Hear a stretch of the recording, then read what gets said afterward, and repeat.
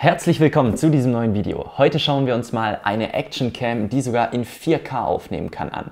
Der Preis ist nicht zu hoch, sie hat einen eigenen Touchscreen verbaut und ist außerdem sehr gut verarbeitet. Also freut euch drauf.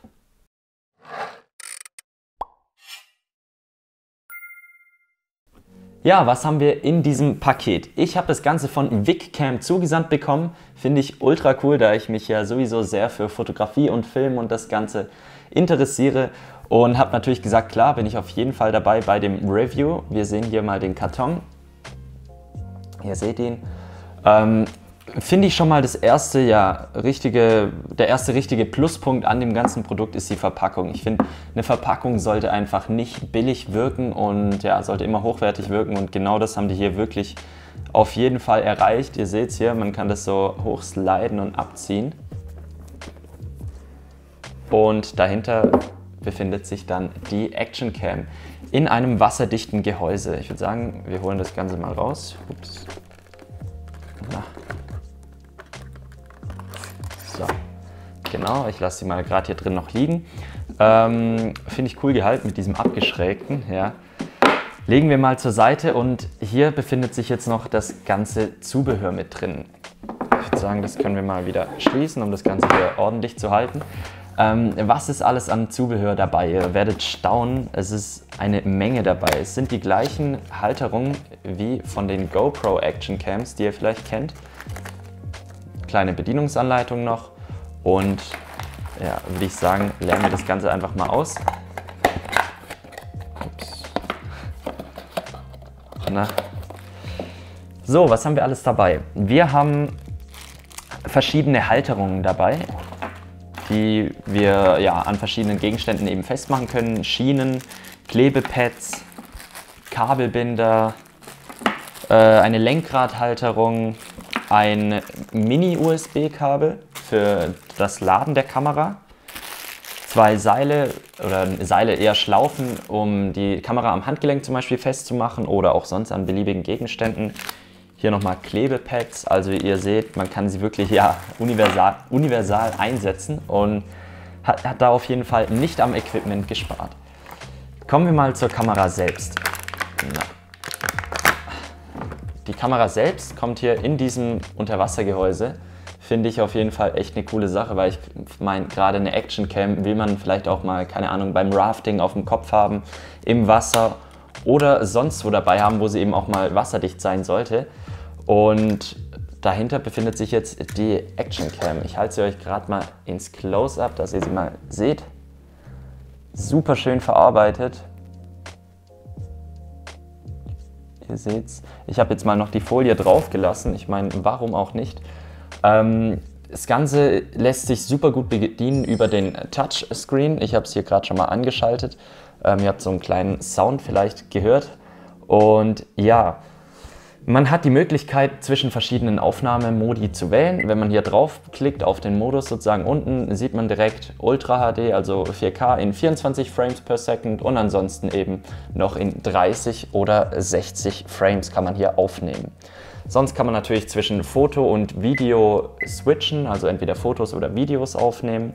Ähm, das Ganze funktioniert wirklich sehr zuverlässig, auch ups, auch ohne den Touchscreen mit den verbauten Knöpfen. Das heißt, wenn man das Ganze natürlich im Gehäuse hat, hat man eben hier einmal den Aufnahmemodus noch und dann die verschiedenen Modi, die man wechseln kann und hier eben Start und Stopp. Genau. Ich habe das Ganze natürlich für euch noch am letzten Tag, wo das Freibad hier offen hatte, bin ich noch mal hin. Da kam zufällig die Kamera schon an, bin reingehüpft und habe das Ganze mal unter Wasser gefilmt ähm, in einem Thermalbad wollte ich das Ganze jetzt nicht ausprobieren. Ja, das käme da nicht so gut, denke ich. Deswegen bin ich da noch schnell zum Freibad hin. Äh, schaut am besten mal kurz selbst, was ihr von der Unterwasserqualität haltet.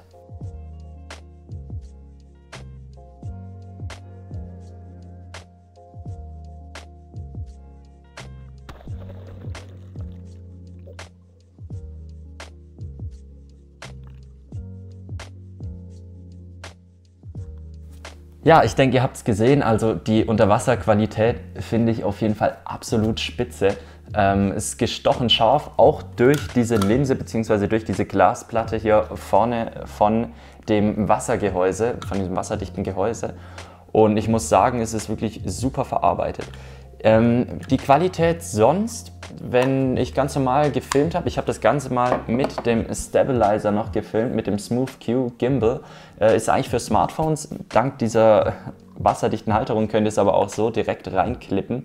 Hier seht ihr es nochmal. Also lässt sich trotzdem super gut damit verwenden. Genau, mit diesem Gerät kann man super schöne Aufnahmen erzielen, auch mit dieser Action Cam, also echt wackelfrei. Ähm, sonst kennt ihr es ja, dieser Action Cam Look natürlich ist jetzt natürlich nicht zu vergleichen mit einer Sony Alpha zum Beispiel, wie ich sie auch hier filme übrigens. Ähm, ich finde die Qualität trotzdem sehr gut für diesen Preis. Also die Kamera kostet, meine ich, um die 100 Euro. Genauen Preis seht ihr hier nochmal eingeblendet. Ähm, und ja, im Vergleich zu einer GoPro ist es natürlich ein Witz und ihr habt trotzdem eine 4K Action Cam, die alles bietet, was das Herz begehrt. Vor allem die Unterwasseraufnahme, wie schon angesprochen, ist wirklich super. Schreibt mir mal in die Kommentare, was ihr von der Kamera haltet. Sagt ihr eher bei euch, ja, es muss die GoPro sein, allein vom Namen her, ähnlich wie es bei manchen mit dem iPhone ist? Oder sagt ihr, ihr gebt solchen Kameras jetzt auch mal eine Chance? Äh, ich kann euch auf jeden Fall empfehlen und nicht nur, weil ich das Produkt jetzt gesponsert bekommen habe, sondern weil ich die Kamera selbst wirklich super finde. Ich kann euch empfehlen, probiert euch, probiert es lieber mal aus, ein etwas preisgünstigeres Modell zu kaufen, anstatt gleich eine GoPro. Äh, ihr werdet auf jeden Fall mit der Qualität, von der Qualität her nicht enttäuscht sein. Heutzutage ist es wirklich schon möglich, solche Kameras auch in diesem Bereich herzustellen, vom Geld her. Und ja, ich muss sagen, auf jeden Fall ein Top-Produkt. In nächster Zeit werden noch ein paar weitere Reviews zu verschiedenen 4K Action Cams folgen, ähnlich auch wie bei den Bluetooth-Lautsprechern. Ihr seht ihn, im Hintergrund steht auch noch einer, den ich neulich getestet habe. Videolink dazu findet ihr hier nochmal. Ähm, ähnlich wie bei den Bluetooth-Lautsprechern auch, genau, werden auch in Zukunft ein paar Vergleichstests, ups, jetzt die Kamera ausgegangen, werden auch in Zukunft ein paar Vergleichstests kommen zwischen den verschiedenen Low-Budget Action Cams, 4K natürlich, wenn möglich, und ja, dann werde ich euch ein kleines Ranking zusammenstellen, einfach in der Playlist. Platz 1 wird dann die von mir bestgerankte sein und so weiter. Werde ich dann aber auch nochmal alles genau erklären. Also bleibt dran, um nichts zu verpassen. Abonniert doch den Kanal und lasst mir ein Like da. Dann sehen wir uns schon im nächsten Video. Ciao!